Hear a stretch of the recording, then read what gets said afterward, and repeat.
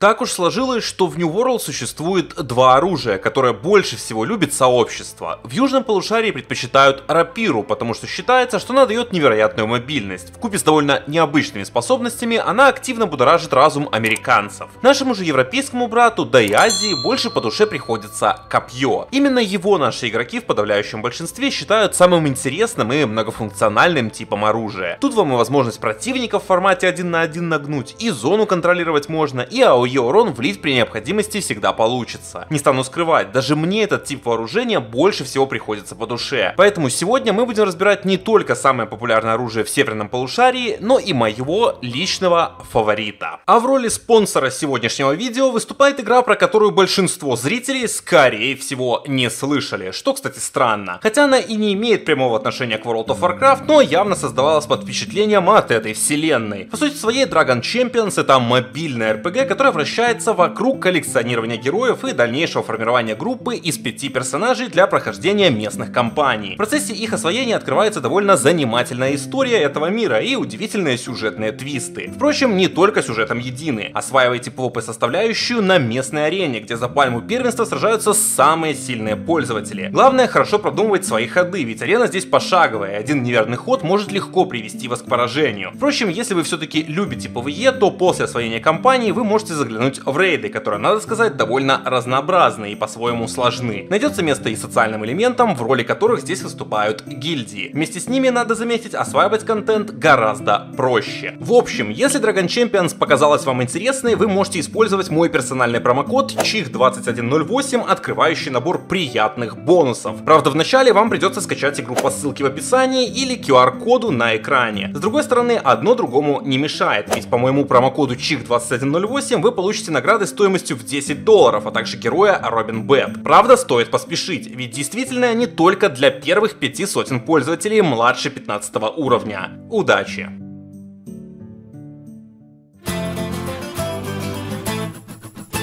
Прежде чем начать углубленный разбор копья, нужно вначале поговорить про общие моменты, дабы вы понимали, нужно ли вам вообще использовать этот тип вооружения. Технически копье не считается основным типом оружия. В New World присутствует условная градация, которая разделяет все предметы на основные и второстепенные. Основные призваны убивать противников или выполнять иную очень важную роль, в то время как второстепенные оказывают поддержку. Хороший пример это рапира и перчатка льда. Рапира в этой связке убивает, а перчатка льда предоставляет набор контролей, чтобы убийство противника происходило максимально гладко. Копье, как вы уже поняли, выступает чаще всего в роли перчатки льда. Тем не менее, это не означает, что вы не можете убивать игроков с его помощью. Нет, конечно же, можете. Однако местами это будет не так эффективно. Подробнее об этом мы поговорим в самом конце ролика. Технически копье может выполнять две очень важные роли. Основная, ради которого его берут, это контроль, потому что у этого типа вооружения 5 способностей из 6 выводят противника из строя. Второй способ его реализации это урон по площади или другими словами АО АОЕ. В этом плане копье показывает неплохие результаты, потому что оно является фактически одним из двух орудий ближнего боя, которое может наносить много урона нескольким целям одновременно. Исходя из этой информации, у вас должен появиться логичный вопрос. С каким оружием лучше всего сочетается копье? Чаще всего встречается комбинация с луком, потому что лук является оружием дальнего и среднего боя, а соответственно вы очень часто находитесь в прямом контакте с противником. Дабы держать дистанцию эффективнее и берут копье, которое затачивают в три контроля поля. Также от него есть толк в этой связке из-за возможности экстренно зафиксировать противника и не дать ему уйти на дистанцию. Кроме этого, данный тип оружия можно встретить в связке с мушкетом. Мушкет лучше показывает себя с рапирой, однако вариант, при котором вы используете копье на урон, тоже считается приемлемым. В такой связке мушкет используется для отстрела противника на дистанции. После же сближения вы целиком и полностью переходите на копье. Третий популярный вариант комбинации это копье плюс двуручная секира. Здесь копье востребовано тоже в качестве дополнительного предмета на контроль роли. Сама по себе секира убивает довольно быстро, однако ей не хватает возможности обездвижить или вывести противника из строя. Здесь наш представитель древкового вооружения и приходит к нам на помощь. Конечно, встречаются и другие разновидности, но это три самые популярные и эффективные. Кстати, копье очень специфически шкалируется от своих характеристик. Дело в том, что одна единица ловкости дает ей 0,9 единиц урона, а одна единица силы всего 0,65 единиц урона. Таким образом, полноценно разогнать его от экипировки с ловкостью довольно тяжело тяжело. В связи с этим вы должны искать предметы, которые сочетают в себе и силу, и ловкость. Такие в игре присутствуют, но их очень мало, и доступны они в основном на высоком уровне. По этой же причине его и не используют в качестве основного типа оружия, ведь с такими коэффициентами гораздо проще использовать его как приятное дополнение. Касательно веток талантов. Всего их две, Зонер и Импалер. В целом их название прекрасно отражает суровую действительность, в которой первая ветка используется для зонирования, а вторая для нанесения урона. Вот только в правильных руках обычно комбинируют таланты из двух веток сразу, потому что вкладывать массу очков ради финальных усилений смысла большого не имеет. Ведь они по большей части нужны в PvE, но об этом мы поговорим в разборе талантов, к которому мы как раз и переходим.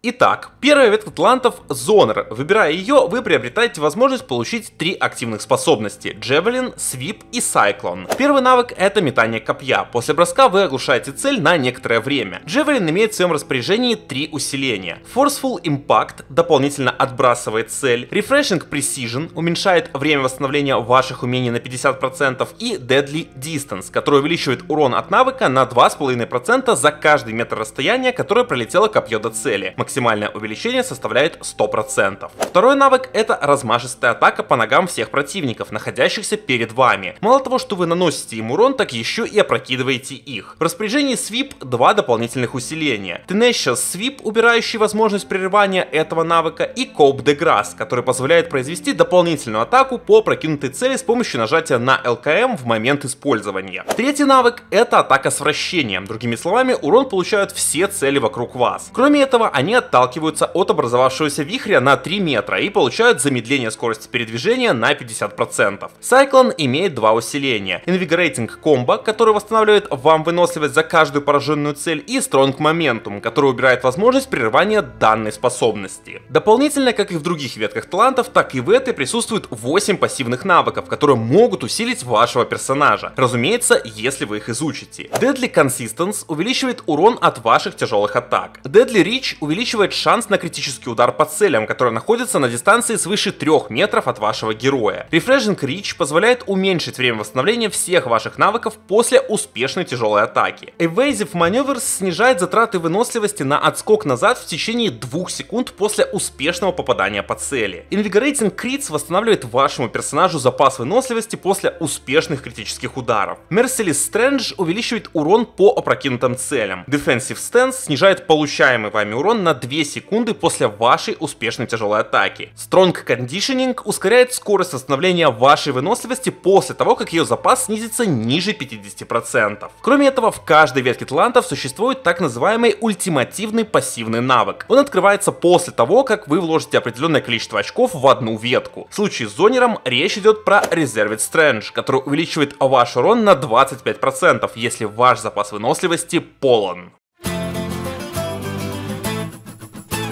Вторая ветка таланта в распоряжении нашего сегодняшнего оружия это импалер, или другими словами, пронзатель. Выбирая ее, вы открываете доступ к трем навыкам. Скир, Perforate и Wild Kick. Первая способность позволяет вам совершить непродолжительный рывок вперед и нанести удар противнику, который нанесет ему определенное количество урона и повесит на него отрицательный эффект кровотечения. Скир можно усилить тремя пассивными талантами. Deadly Ambush увеличивает наносимый урон этой способностью против игроков с полным запасом здоровья. Follow Trot увеличивает ваш урон после успешной критической атаки, и Depound увеличивает время действия ваших кровотечений. Вторая способность это три быстрые колющие атаки, каждая из которых наносит урон и накладывает отрицательный эффект, который снижает поглощаемый целью урон. Perforate можно усилить двумя пассивными навыками. Rapturing Strikes дополнительно уменьшает эффект поглощения за каждую последующую атаку по цели с запасом здоровья ниже 50%. И Impactful Strikes, который дополнительно оглушает противника, если все три ваши атаки попали по одной цели. Третья способность это рывок вперед и удар противника ногами с помощью опоры в виде вашего копья. Навык наносит небольшое количество урона и дополнительно оглушает цель. Wild Kick имеет два пассивных усиления. Relentless Blows увеличивает весь наносимый вами урон на 5 секунд после того, как вы поражаете этой способностью противника с запасом здоровья ниже 50%. И Continuous Motion, который снижает время восстановления всех ваших навыков после успешного применения этой способности способности. Дополнительно в вашем распоряжении 8 пассивных навыков, которые могут усилить вашего персонажа в случае их взятия. Precision Jabs увеличивает шанс на критический удар от легких атак. Refreshing Jabs снижает время восстановления всех ваших способностей после второй успешной легкой атаки по цели подряд. Crippling Jabs снижает скорость передвижения цели с запасом здоровья ниже 30% после того, как вы завершаете цепочку атак. Finishing Blows увеличивает наносимый вами урон по целям с запасом здоровья ниже 30%. Unring Precision увеличивает урон по целям во время применения ими заклинания, которое нельзя прервать. Aggressive Maneuvers снижает время восстановления всех ваших способностей после первой успешной атаки, которая была применена сразу после уклонения. Excarbiting Crits позволяет вашим критическим ударам увеличить время действия отрицательных эффектов на цели. Exposed Ones увеличивает ваш шанс на критический удар против целей, находящихся под эффектом кровотечения. В роли ультимативного таланта выступает навык под названием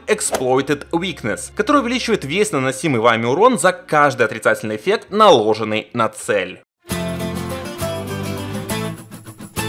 Теперь давайте быстро пробежимся по трем веткам талантов, которые сейчас активно расходятся в интернете. Сразу отмечу, что ни одну из них я не создавал самолично, поэтому все претензии оформляйте авторам, то есть сообществу New World. Также хотелось бы отметить, что они не являются метой, и их вполне себе можно корректировать под ваши хочу. Тем не менее, лично мне кажется, что в них сейчас нечего менять, ибо в них все более-менее логично взято. Я, кстати, попробовал каждую из них. Открывает нашу подборку гибридная ветка талантов для PvP в формате 1 против одного. Главный акцент в этой специализации ставится на большое количество легких атак в комбинации с увеличением урона от отрицательных эффектов. Наше сражение будет вращаться вокруг использования способности Perforate, которая будет накладывать на противника отрицательные эффекты, снижающие его поглощение урона. Чтобы эффект суммировался быстрее, мы взяли Wild Kick и ряд пассивных навыков. Дополнительно, чтобы противнику было сложнее нас скрыть, мы используем еще и способность под названием Sweep. В целом, ветка талантов довольно интересная. Сама по себе она подразумевает, что мы будем использовать копье как основной тип оружия. В связи с этим я бы рекомендовал использовать вам тяжелую броню, иначе вас будут очень быстро убивать. Кстати, про главный плюс этой специализации. Мне кажется, что ее ключевым достоинством является то, что вы неплохо справляетесь с латниками, которым вы уменьшаете поглощение. Зато против тряпок будет сложно, не хватает мобильности и не хватает контроля. Второй вариант специализации более странный, и с первого взгляда он может показаться вам полным мусором, что на самом деле не является правдой. Именно в этой специализации я играл на закрытом бета-тестировании, ее мне подсказали мои англоязычные коллеги, как лучший вариант для связки с луком. Я эту мысль проверил, а также протестировал альтернативные варианты и пришел к выводу, что эти таланты вполне себе играбельны. По сути своей, вся игра ведется у вас от дистанции. Предполагается, что противников вы разбираете с помощью лука. Копье же используется только в тех ситуациях, когда враг доходит до вашего тела и начинает вас напрягать. В этот момент вы можете провести ультимативную комбинацию, состоящую из навыка Sweep, Cyclone и после этого Javelin в голову. Связка очень сильная и тряпка с кожей чаще чаще всего отправляется на кладбище, потому что им успешно снимается до 50% здоровья. Также каждый из этих трех навыков можно использовать для набора дистанции, потому что все они имеют эффект контроля, например, опрокидывают или отталкивают. Без того же метание копья, кстати, очень тяжело, потому что оно позволяет откинуть и одновременно с этим опрокинуть цель, благодаря чему навык очень сильно выручает как при наборе дистанции, так и при преследовании. Третий вариант талантов это PvE ветка. Акцент не ставится на урон по цели с помощью способностей, а также также тяжелых атак. К сожалению, у копья довольно большие проблемы с талантами на легкие атаки по толстым целям. Почти все наши пассивные навыки срабатывают только в том случае, если мы атакуем цель первый раз. В случае же, если мы атакуем с помощью тяжелых атак, то все работает в точности да наоборот. В основу ложится количество атак. Чем их больше, тем выше наш урон. Дабы тяжелые атаки были еще опаснее, мы разгоняемся через таланты на кровотечение и отрицательные эффекты, которые увеличивают весь наш урон наносимой цели. Также мы берем таланты, которые позволяют нам быстрее восстанавливать выносливость, которая нужна нам для применения тяжелых атак. Они же в свою очередь ускоряют время восстановления наших навыков. Получается своеобразная синергия, при которой навыки разгоняют наши тяжелые атаки, а атаки ускоряют время восстановления навыков. Четвертый вариант и последний это ветка талантов для игроков, использующих копье на осаде. Она подразумевает под собой наличие тяжелой экипировки и игры в ближнем бою. Основной акцент ставится на контроле и урон по площади, которого в этой специализации у нас масса. Бонусом идет усиление увеличение нашего урона от отрицательных эффектов на цели, которых во время осады довольно много. Предполагается, что вы будете находиться на точке, либо в самом эпицентре, отталкивая и оглушая всех противников вокруг вас. При этом мобильность не страдает, потому что некоторые таланты, которые замедляют ваши атаки, специализации не взяты. Касательно же схемы боя, отмечу, что мы используем именно легкие атаки, а не тяжелые. На этой прекрасной ноте я заканчиваю свой разбор и это видео. Если оно вам понравилось или было полезно, поставьте ему лайк, а также поделитесь своими впечатлениями в комментариях. Кроме этого, не забывайте про подписку, ведь она действительно сильно мотивирует меня к скорейшему выпуску нового контента по New World. Заранее спасибо и до очень скорой встречи.